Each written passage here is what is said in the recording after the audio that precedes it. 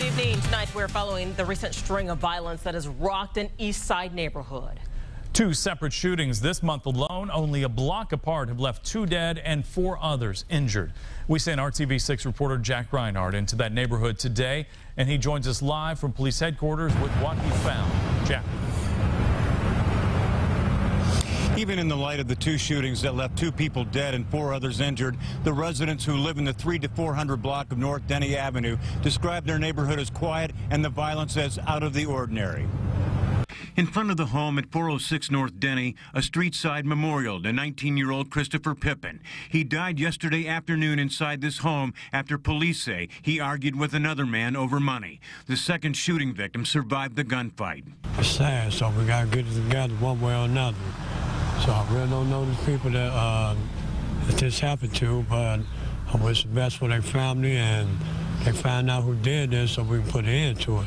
Only a block away, another street side memorial at the corner of New York and Denny. It's the site where four men shouted out May 10th after one man accused another of disrespecting a woman. One man died, three were injured, and one was arrested. So are you concerned? Are you frightened? Uh... No.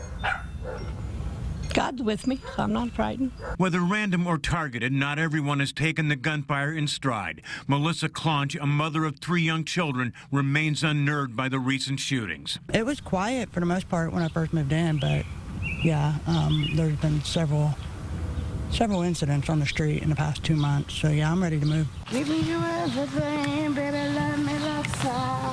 Less than 24 hours after the shooting, calm has returned to the neighborhood. Residents sit on their porches and from that vantage point see the two recent shootings for what they are. It's a pretty quiet block. Everybody owns their house pretty much. Everybody's quiet. And then stuff like this is random. So okay. I don't think it was just like a random thing. I, you know, I mean, it was planned or whatever.